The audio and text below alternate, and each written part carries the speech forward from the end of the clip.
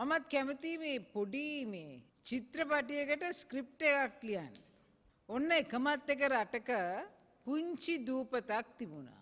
මේ දූපත හරිම සශ්‍රීකයි. හැබැයි ඒ දූපතේ හිටුම් බහුතරයක් මිනිස්සු අන්දයි. ඒ දූපතේ හිටපු බහුතරයක් මිනිස්සු බීරෝ කං ඇහුන්නෑ.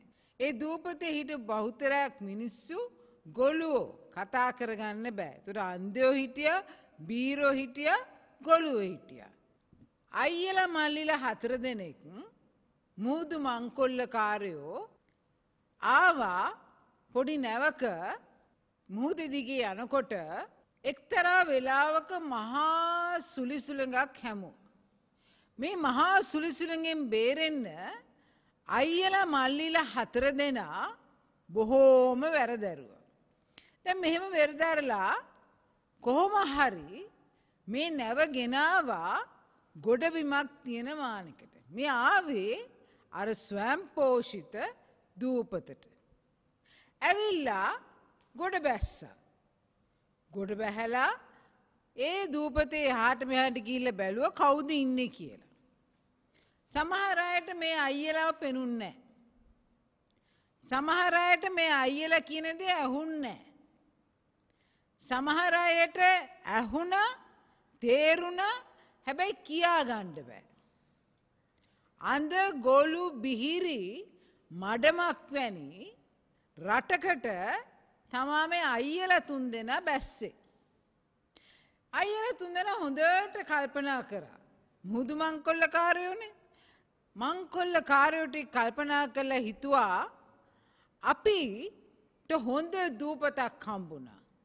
අපි මේ දූපතේ රජවරුවෙන්ඩ පුළුවන් කියලා. පළවෙනි අයිය කිව්වා මාර ශෝක්නේ. හරිම ශෝක් මංගීල මේ කට්ටියව මෝඩයින්ට අන්දන්නම්. මම ඒ අයට පෙන්නන්නම් සෞභාග්‍ය කොහොමද ලබාගන්න මේ රට දියුණු කරන්නේ කොහොමද කියලා මම පෙන්නන්නම් කියලා.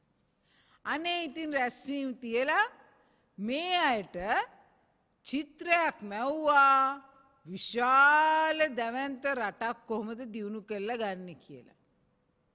හරි සතුටු වුණා බීරන්ට විතර ඇහුන්න ඇත්තේ නමුත් කෝම හරි භාෂාවෙන් ඒගොල්ලන්ට තේරුම් කළ දුන්නා මේ රට ස්වයම් පෝෂිත රටක් කරන්නට පුළුවන් අපිට පුළුවන් ලෝක අනික් රටවල් එක්ක හැප්පෙන්න කියලා. කවදක්වත් හැප්පෙන්න්න දැන්න ඇති මිනිස්සු ටික අනේ හොඳයි හැප්පෙන්න්න පුළුවන්නම් කියලා අයියල මල්ලිලට රජවෙන්න අවස්ථාවක් දුන්නා. අයියල මල්ලිල හැබැයි බොහොම ඥානවන්තයි. ඒ අය ඉස්සල්ලම කරවේ තමන්ට පාලනය කරන්න පුළුවන් පාර්ලිමේන්තුවක් හදාගත්තා. තේරුවේ පෙරේතයෝ ටිකක්. පෙරේතයෝ ටිකක් තෝරලා තනතුරු දීලා කිව්වා මුදල් ඇමති සෞඛ්‍ය ඇමති කෘෂිකර්මාන්ත ඇමති අධ්‍යාපන ඇමති කියලා ඇමතිකම් ගොඩාක් තුන්න හැබැයි තේරුවේ ඔක්කොම දෙසිය විසි පහම පෙරේතයෝ.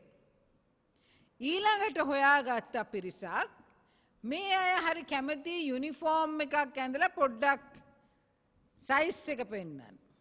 ඒ නිසා ඒ තෝරල ගත්තා ඔය අයට පුළුවන් අපිට ආරක්ෂාව දෙන්න කිය. අපි ඕගල්ලන්ට හොඳට අන්දන්නම් කියලා අන්දන ක්‍රමයට හොඳට අන්දලා මේ අයට කිව්ව ඔගොලො තමා වීරයෝ කියලා ඒ අයටිකුව ඔබට පුළුවන් ආරක්ෂාව දෙන්න කිය. තවත් කට්ටියත් තෝරගත්තා. ඒ අයට කිව්වා මේ රටේ අඳගොලු බීරි මිනිස්සු ටික දැන් මේ ප්‍රශ්න වැඩිවෙනකොට එනවා ඕගොල්ලන්ගේ ළඟට සරණ පතාගෙන අපේ ප්‍රශ්න විසඳල දෙන්න කියලා. එතකොට ඕගොල්ලන්ට තියෙන්නේ ඒ අයට වංචා කරලා ඒ අයව නොමගෑරලා ඒ අය පා කරලා නීතියක් තියෙනවා කියලා පෙන්නලා නීතිය ක්‍රියාත්මක නොකර ඉන්න කියලා. හදා ගත්තා නීතිය පිළිපදින තැනක් හදාගත්ත ආරක්ෂාව පිළිපදින තැනක් හදාගත්ත පාර්ලිමේන්තුවක් දැම් මේ තුංගොල්ලත් එක්ක අයියල මල්ලිල හතර දෙනා හොන්දටම වැඩ පටන් ගත්ත. කාලයත් එක්ක අයියල මල්ලිල මුූදු කොල්ලකරු. ඒ නිසා ඒ අය හොරකං කරන්න පටන් ගත්තා රටේ හැම්ම ධනයම ටැක්ස් ගැහුවා නොයකුත් ක්‍රමවලින් තමන් සතු කරගත්තා. අවසානයේ මිනිස්සුන්ට තේරෙනකොට මේ ඇවිල්ලා ඉන්නේ මුූදුමංකොල්ලකාරයෝ කියලා පරක්කු වැඩි. පාර්ලිමේන්තයෝ පාර්ලිමේන්ති ඉන්න පෙරේතයෝ ටික හොරගං කරනවා හමුදාව ඉන්න අය බොහොම ලැදයෙන් ඉන්න මොකද ඒ අය වන්දල තියෙන හින්දා ඊළඟට නීතිය ක්‍රියාත්මක කරන අය නීතිය කිසි සේත්ම ක්‍රියාත්මක කරන්න දෙන්න අද අදගොලු බීරි කට්ටිය විලාප තියමින් මුහුදට පයින්න ක්‍රමවේද හොයනවා. මේ රටේ නම තමා ශ්‍රී ලංකාව මීට වඩා ලොකු වෙනසක් නෑ මේ කතාවේ. ශ්‍රී ලංකා දීපේ කියන එක අන්ද ගොලු බීරි මඩමක් හා සමානයි. අද අපේ රටේ මිනිස්සු කට වහගෙන ඇස් වහගෙන කම් වහගෙන බබාල වගේ ඉන්නවා. මේ බබාල ටික නිසා තමා මේ රටේ ඉන්න මූදු කොල්ල කරුවෝ ටිකට අද හොඳට හූරා කණ්ඩ පුළුවන් වෙලා තියෙන්නේ.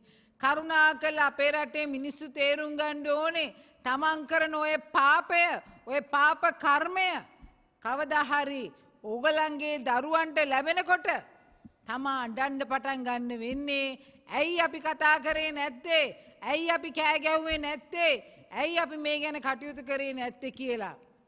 තේරුම් ගණ්ඩ දැම්වත් කටවල් තියනෝ නම් කතා කරන්න කන්තියනෝ නං අහගෙන ඉන්න ඇස්තියනෝ නම් හොඳට බලාගෙන ඉඳලා ක්‍රියාත්මක වෙන්ඩ කියන එක තියා කියන්නේ.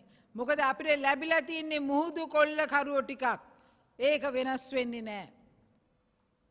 එක්ස්ප්‍රස් නෞකාව ලංකාවට ආවේ ගෙන්න ගත්ත නිසා. අපේ මුහුදු කොල්ල කරුවෝටිකට ඕනා කල්ල තිබුණා මේ රටට ගෙනල්ලා ඒ නෞකාව ගිනිබත් කරලා ඒ නෞකාවෙන් එන බිලියන පහක් වෙන ඩොලර් බිලියන පහක් වෙන වන්දි මුදල තමන් සතු කරගන්න. ඒක නිසා තමා නැව ගෙනාවේ ලංකාවට ගෙනාව එක ගිල්ලෙව්වා. නැත්තං ඇසිඩ් ප්ලාස්ටික් දියවෙන තැනක ගිහිල්ල වතුර ගහන්න නැහැ. ඒම වතුර ගහලා ඒ නැව විනාශ කරා විනාශ කල්ලා ඊළඟට නැව අබලන්තත් තිනොටිකිවා අදින්ඩ කියලා. ඇද්දාම ගීල්ල කඩම් වැටුනේ කොරල් පරයක් මත. අද ඒ කොරල් පරේ මතේ නැව ගිලමින් පාතිනවා. දස්සම එක වැඩක් කරන්නේ ඒ ගැන. එක වතුර සාම්පලයක් ගන්න නෑ කිසිම පර්යේෂණයක් කරන්නේ නෑ. ඒ නැව එතනම තියලා ඒ මුූදු ප්‍රදේශම විනාශ වෙන්න අරිනවා. වන්දි මුදල ඩොලර් බිලියන පහයි. හැබැයි ඒක දෙන්ඩෝනේ ඒ නැව් සමාගමේ ඉන්ශුවරන්ස් එක දීලා තියෙන සමාගම. ලෝකයේ වෙන කිසිම රටක් නොකරන වැඩක් අපේ රට අද කරනවා. අපේ සමුද්‍ර අධිකාරිය තමා මුහද ආරක්ෂා කිරීමට පත් කල්ලා තියෙන පිරිස. නමුත් අද සමුද්‍ර අධිකාරිය කොයිතරම් වන්දි මුදලක් තමන් ලබාගත යුතුද කියලා සොයනවා වෙනුවට අද නැව් සමාගමේ ඉන්ශුවරන් සමාගමත් එක්ක එකට එකතු වෙලා අත්වැල් බැඳගෙන මූදු වෙරලේ තියෙන ප්ලාස්ටික් කැට අහුලනවා. මොන මෝඩ හරක්ද මේ වගේ දේවල් කරන්නේ. අද සරක්කුව කියන ප්‍රදේශයට ගියොත් එහෙම කාන්තාවෝ දාගෙන හමුදාව දාගෙන මූදු වෙරලේ තියෙන ප්ලාස්ටික් කැට අහුලනවා. ඇයිඒ. සමුද්‍ර අධිකාරයට ඩොලර් වලින් ගෙවලා තියෙනවා ප්ලාස්ටික් කැට අහුලහුල ඉන්ඩ මූදු තියෙන අර විනාශ වෙන කොරල් පරය ගැන හිතන් දෙපා එතකොට අපි ඕගල්ලන්ගේ සාක්කුවලට මූද කොල්ල කරුවන්ගෙනුයි අධිකාරය ඉන්න නිලධාරින්ගෙනුයි සාක්කුවලට ඩොලර් වැටෙනවා ක්‍රමක්‍රමයෙන් ඩොලර් ටික වැටෙනවා. මේක තමාද වෙන්නේ. අර බිලියන පහ ඩොලර් බිලියන පහ වන්දි මුදල ලංකාවට ලැබෙන්නේ නෑ. ඇයි ඒ මුූදු කොල්ල කරුවෝ ටික ඩොලර් බිලියන පහක් තුනක්වත් තමන්ගේ සාක්කොට දාගන්නවා. ඉන්ශුවරන් සමාගමේ මිනිස්සු අපිට හිනාවෙනවා. ඒ මිනිස්සු කල්පනා කරනවා දෙයනේ මේක ඇත්තටම අන්දයෝ ඉන්න ගොළුව ඉන්න බීරෝව පමණක් ඉන්න රටක් නේද කියලා. මොකද ඒකට හේතුව වෙන කිසිම රටක් මේ වගේ ක්‍රියාත්මක වෙලා ඒ වන්දි මුදල ලබා නොගෙන තමන්ට මේ තරම් හොඳට සලකන රටක් ඔවුන් දැකල නෑ. හරිම ලැජ්ජයි. හරිම ලැජ්ජයි. හරිම ලැජ්ජයි. ජනාධිපතිතුමනි ඔබතුමා ගොවීන්ගේ බෙල් අත ගණ්ඩ අන්ඩෝ නෑ. ඔබතුමා ගිහිල් අර සමුද්‍ර අධිකාරය ඉන්න ප්‍රධානීන්ගේ බෙල්ලෙන් අල්ලලා මූදර තල්ලු කල්ල දැම්මනං මීට වඩා වැඩියමක් වෙන්ඩ තිබ්බා.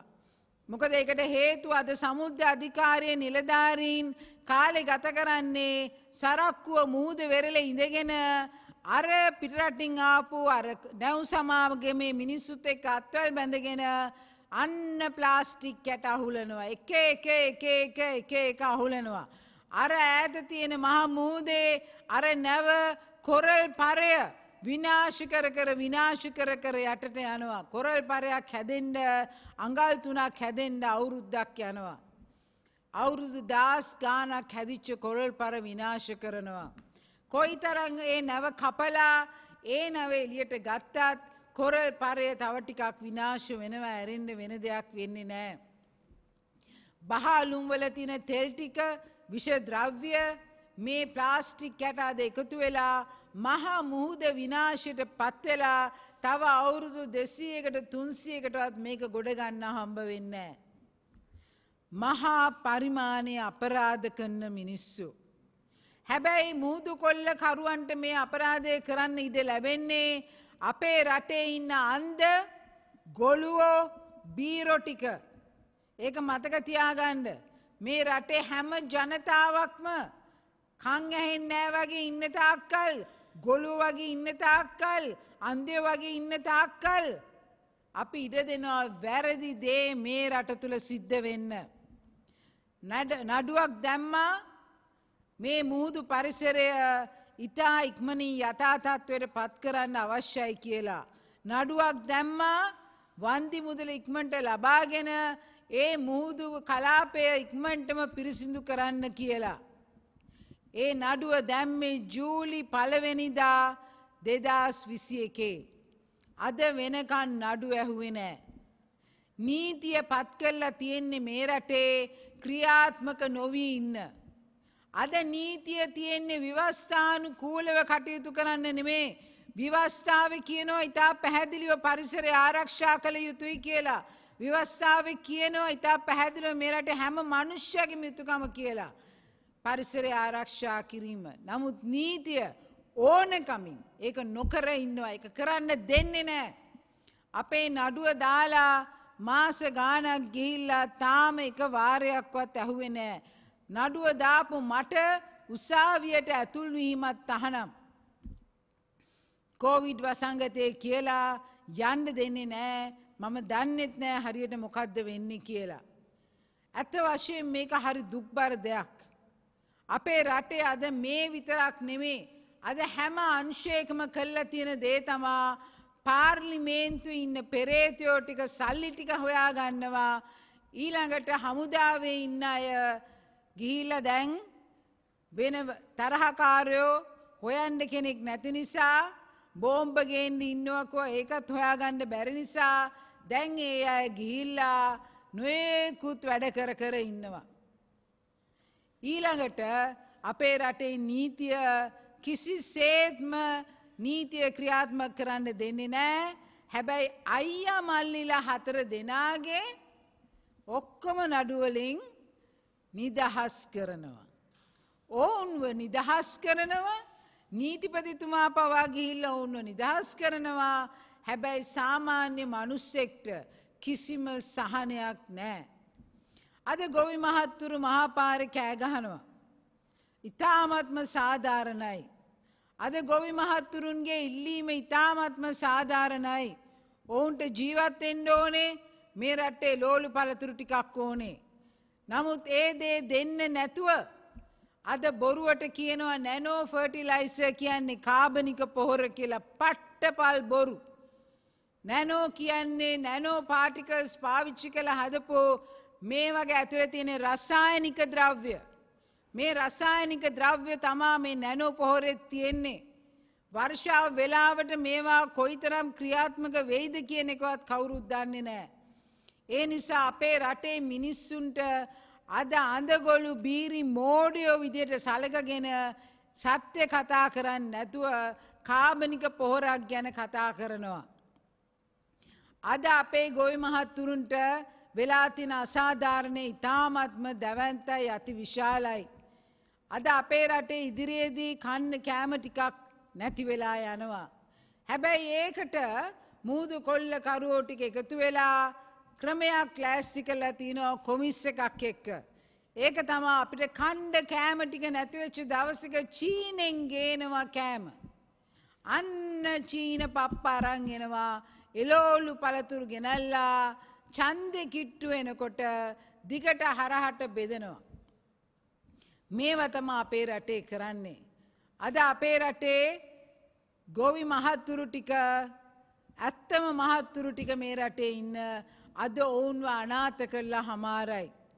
ඔවුන්ගේ ජීවිකාව තියෙන්නේ තනිකර පසත් එක්ක පොරබැදීමක්. හැබැයි ඒක නොදන්න මේ අපේ ජනාධපතිතුමා කියනවා ඔවුන්ට බෙල්ලෙන් අල්ලනවලු. ඔබතුමා හිතන්ඩවත් එපා එක ගැන. හීනෙන්වත් දකිින්ඩ එපා එක. මොකද ඔබතුමාට කිසිම සුදුසුකමක් නෑ අපේ ගොවි මහත්තයගෙන් බෙල්ලෙන් අල්ලන්ඩ.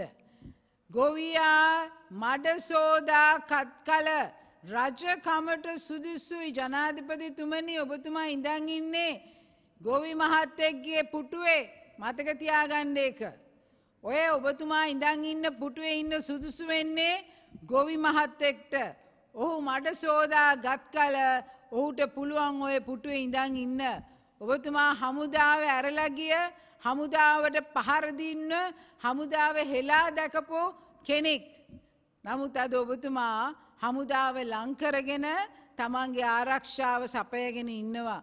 ඒ නිසා කවදාක්වත් හිතන්න එපා ගොවි මහත්තෙක්ට බෙල්ලෙන් අල්ලනවා කියලා කියන්න මොකද ඒකට හේතුව ඔබතුමා එක දක ගොවියෙක්ගෙන්වත් බෙල්ලට අත ලංකොරොත් මේ මුළු මිලියන විසි දෙකක්ම ඔබතුමාව උස්සලා අනිවාර්යෙන්ම ආපස්සට අරිනවා ආපු රටටම. ඒ නිසා මං හිතන ඔබතුමාන් පොඩ්ඩක් හරි මොලයක් තියෙනවනම් මේ වගේ කතන්දර නොකිය ඉන්දීවී කියන එකට. ති ඒ නිසා අපිට අද සිදුවෙලා තියෙන්නේ මහා පරිමාණය අපරාධයක්. අද අපේ රටේ පාර්ලිමේන්තුව කාර්යක්ෂම නෑ. අද පාර්ලිමේන්තුවේදී පාර්ලිමේන්තුව ඉන්න පෙරේත කට්ටිය කතා කරන්නේ මාධ්‍ය තියෙන තාක්කල් පාර්ලිමේන්තුවේ ශබ්දහන්ඩ පුළුවන්. පාර්ලිමේන්තය ඔක්ක තර්ග තියන්නේ ඔක්කොම කතා කරන්නේ ඒ මාධ්‍ය ඉදිරියේ තමා ඔවුන් කතා කරන්නේ. මාධ්‍ය සතියක් පාර්ලිමේන්තුවට ගිහින්නතුව හිටියොත් පාර්ලිමේන්තුවේ කිසිම දෙයක් කරන්න විපක්ෂයයි පක්ෂය එකතු වෙලා තේබිබී කකා ඉන්දී එතන්ට වෙලා. ඉතින් ඒ නිසා මේ මාධ්‍ය සංදර්ශනත් මේ සියලුදේ වෙනවා පාර්ලිමේන්තුව ඇතුළේ පාර්ලිමේන්තුවේ මම කිසිම බයක් නැතුව කියනවා ඉන්නේ පෙරේතයෝ කියලා. ඊළඟට අද අපේ හමුදාව ගත්තහම හමුදාවෙන නිලධාරීන්ගේ මං ඉතා ආදරෙන් ඉල්ලනවා. ඔබතුමල්ලා යුනිෆෝර්ම් එකක් දාගෙන මේ රට ආරක්ෂා කර අවුරුදු ගානක්. අද ඔබතුමල්ලාගෙන් කුලී වැඩ ගන්න මේ රජය. ඔබතුමල්ලා පාරවල් සුද්ධ කරනවා. ඔබතුමල්ලා කානු සුද්ධ කරනවා. ඔබතුමල්ලා ගොඩනැගිලි හදනවා. හැබැයි ඔබේ යුතුකම තියෙන්නේ මේව නෙමේ ඔබතුමල්ලාට මේ රජයෙන් ලැබියයුතු දේතමා උගත්කම දීලා සුදුසු රැකියාවල් ටිකත් දීලා ඔබතුමල්ලා ඉහළ තත්ත්වයට ගෙනීම. ඒක නොකර අද ඔබතුමල්ලාගෙන් කුලී වැඩගන්නවා මේ රජය. ඒක තමා කියන්නේ අන්දනවා කියලා. හුඟක් වෙලාවට ඩ- මිලියන විසිදාහක් විතර ඔබට අයවයක් දෙනවා. හැබැයි ඒ මිලියන හය විසිදාහෙන් ඔබට ලැබෙන්නේ ඉතාමත්ම සුළු ප්‍රමාණයක්. පහුගිය දවස්සල ඔබතුමල්ලාට මහා පරිමාණයෙන් දුන්නා අලුත් උසස්වීම්. හැබැයි ඒ එක උසස්වීමකටවත් පඩිය වැඩි කරේ නෑ. බොරුවට බැච්චකත් දෙනවා හැබැයි පඩිය වැඩි කරන්න. එනිසා හමුදාව ඉන්න සහෝදර සහෝදරියන්ට කියනවා කව මේ අන්දන්ඩ ඉට දෙන්න එපා මේ රජය ඔබ අන්දනවා. ඒ නිසා ඒ අන්දෙන් නැතුව කරුණා කරලා තමන්ගේ සුදුසුකම් දියුණු කරගෙන හොඳ තනතුරුවට එන්න ඇවිල්ල මේ රටේ ඉංජිනේරුවෝ ඒ වගේ තනතුරු අරගෙන ඔබ මේ රටේ හොඳ රැකියාවක් කරන්න සූදානම් වෙන්ඩ කියලා හමුදාවන්න සියල්ලන්ගෙම ඉල්ලනවා. ඒ වගේම නීතියට කියනවා. අද ශ්‍රේෂ්ඨාධිකරණය මහෙස්ට්‍රාත් උසාවි මේ මොනවත් තිබුණත් ඇති වැඩක් නෑ නීතිය ක්‍රියාත්මක කරන්නේ නැත්තං. මොකද නීතියක් කියල දෙයක් තියෙන්නේ මේ රටේ ජනතාවට වේදනාවෙන් ඉන්න මිනිස්සුන්ගේ ප්‍රශ්න විසඳල දෙන්න. රටේ දියුණුවට ප්‍රශ්න විසඳල දෙන්න. විදේශයත් එක ප්‍රශ්න තියෙනකොට ඒවා විසඳන්න තමා නීතිය තියෙන්නේ. හැබැයි ඔබ සියලු දෙනාම අර මේ රට පාලනය කරන මිනිස්සුන්ගේ තියෙන නඩුටි කහල ඔවුන්ව නිදහස් කරනාව ඇරෙන්න වෙන වැඩක් කරන්නේ නැත්තම්. ඔබ කරන්නේ මහා පරිමාණය අපරාධ. ඒ වගේ මහා පරිමාණය අපරාධ කරලා කිසිවෙකුට මේ ලෝකෙ ගැලවීමක් නෑ. ඒ නිසා නීතිය කටයුතු කරන්න මං හැමෝටම කියනවා බොරු කරන්න එපා සත්‍ය කතා කරන්න සත්‍ය වෙනුවෙන් ක්‍රියාත්මක වෙන්ඩ විවස්ථානුකූලව වෙන්ඩ නඩුව හරියට අහලා නිසි වෙලාවට ක්‍රියාත්මක වෙන්ඩ නැත්තං අර එක්ස්ප්‍රෙස් නෞකාව අර කොරල් පරයක් මත ඉඳගෙන ඒක ක්‍රමක්‍රමයෙන් විනාශ වෙනවා අද මුහුදු පරිසරයේ විනාශ වෙනවා අපේ දරු පරම්පරාවේ ඒ සම්පත්තික විනාශ වෙනවා. වනාන්තර ටික විනාශ වෙනවා මුතුරාජවෙල තෙත්බිම් ටික විනාශ වෙනවා ඔබේ නඩුතීන්දය උඩයි මේ සංවර්ධනය ඇත්තටම කරන්න පුළුවන්ද බැයිද කියනක තේරුවන් තීරණය වෙන්නේ. අද පරිසර ඇගීම් වාර්තාවක් අධිකරණයෙන් ඉල්ලන්නෑ. අධිකරණය ඉල්ලන්ඩ ඕනෙ දේතමා පරිසරගයින් වාර්තාවක් ලිව්වද ඒක හරිද කියන එක. නමුත් අද අධිකරණය තාමත් ඉල්ලන්න පරිසරගයින් වාර්තාවල් කෝ කියලා. එනිසා මම විශේෂයෙන් ඉල්ලනවා නීතිය කරන මිනිස් අයගෙන්. කරුණා කරලා පරිසරය කියන්නේ කුමක්ත කියලා ඉගෙනගණ්ඩ කියලා. පරිසරය කියනදේ දන්නේ නැතුව මේ රට සංවර්ධනය කරන්න බෑ. හැබැයි ඒ සංවර්ධන ක්‍රියා දාමේදී. නීතිය උන්ට සහයවෙන්න අවශ්‍යයි. නීතිය ඉන්න ඕනේ මේ රටේ අයියල මල්ලිල හතර දෙනත් එක්ක නෙමේ මේ රටේ නීතිය ඉන්න ඕනේ මහජනතාවත් එක්ක. මොකද මහජනතාවටයි ප්‍රශ්න තියෙන්නේ. මහජනතාවගේ දුක මහජනතාවගේ වේදනාව මහජනතාවට වෙන අසාධාරණය සාධාරණීය කරණය කරන්නයි නීතිය තියෙන්න්න ඕනේ නිසා නීතිය කරුණා කල්ල නැගිටින්න මේ රටේ ඉන්න අන්දයෝ බීරි ගොලුවෝ මේ රටේ විදියට හැදුවේ අවුරුදු ගානක් අවුරුදු හැත්ත දෙකක් මේ රටේ අන්දයෝ බිහි කරා ගොලුව බිහි කරා අද බීරියෝ බීර කණැහෙ නැති මිනිස්සු බී කරා. කොඳු ටික කඩලා තියෙන්නේ. අද අපේ මිනිස්සුන්ට බැහැ චන්දකින් වෙනසක් ගේන්ඩ. ඒ නිසා අපි ඉතා ආදරෙන් ඉල්ලනවා. මේ රටය නැවතත් හිතන්න කාලය ඇවිල්ලා. අපි සම්පූර්ණයෙන් වෙනස් වෙන්න ඕනේ. එදා මම හැදුව වචනයක් කුණු ටික ප්‍රතිචක්‍රී කරණය කරන්න ඕනි කියලා. කුණු ප්‍රතිචක්‍රී කරණය කියන්නේ විසිකරපු දෙයක් වටිනාකම නැති දෙයක් අරගෙන වටිනාකම තියෙන දෙයක් බවට පත් කිරීම. ශ්‍රී ලංකාවට ප්‍රතිචක්‍රී කරණයක් අවශ්‍යයි. ඒකට හැම කෙනාම දායක වෙන්ඩෝනේ. ගොළුව වගේ ඉන්ඩෙපා බීර වගේ ඉන්ඩෙපා අන්දය වගේ ඉන්ඩෙපා කරුණා කළ නැගිටින්න දැන්වත්. නැගිට්ටේ නැත්තං අපට සදා කාලික බොරුවත් එක්ක ජීවත්වෙන්ඩ වෙනවා. ඔබට ජය ලැබෙන්නේ ඔබ නැගිට්ටොත් පමණ මයි. ඒ නිසා නැගිටින් ඔබට ශක්තිය දහිරය වාසනාව නොවඩුවම ලැබේවා කියල ප්‍රාර්ථනා කරනවා. බොම ස්තුතියි. නිවස් රේපෝට වාරණයෙන් තොර අපක්ෂපාති වාර්තාකරණය